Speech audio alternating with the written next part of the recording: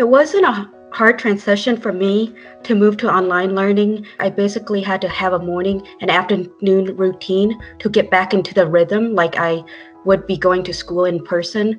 I've been able to keep up with my homework assignments as I've been able to multitask with them. We've been meeting every Mon- Wednesday and Friday outside of class to ensure that we have nothing that we need help with and we can make sure that everyone's all good on their assignments. I feel more comfortable doing online school instead of going to campus because it's giving me more sleep and um, more downtime at home so that I'm not as stressed as usual, which I'm very happy about. It's actually helping me focus more in school. He's been able to easily keep up with all of his classes online and he also participates in one of the clubs. Well, I'm attending uh, open mic every Wednesday afternoon. I sing songs and play my guitar. And the other club that I have is photography club. It happens every Friday afternoon. I've been using my time wisely as I make alarms for myself to know when to get to homework and to know what is expected of me to complete.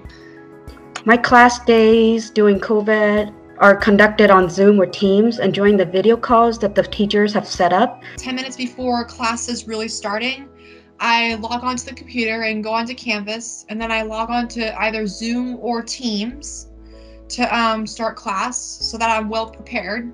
And to hear her in class on Teams sharing, you know, she'll say, "Oh, wait a minute, wait a second, I'll share my screen." Navigating the technology was just mind blowing. And I'm thinking she knows how to use Teams better than I do. What a great tool that is. I don't know that she would have had that otherwise. She's got a place set up in her room that is for class time.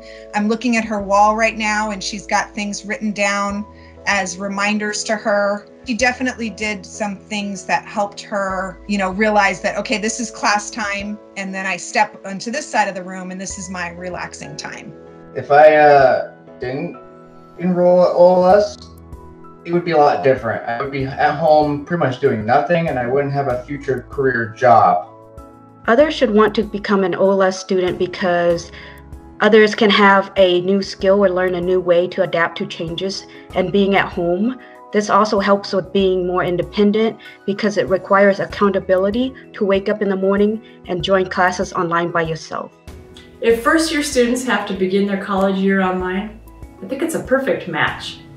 They can start the program from the comforts of their own home. The whole situation this spring has been very stressful for a number of reasons, and I, as a parent, have been incredibly impressed with OLS and how they've transitioned to this online platform. Has this been hard? Has it been unique? Yes, yes. Has it been something that I've been going through with dummies?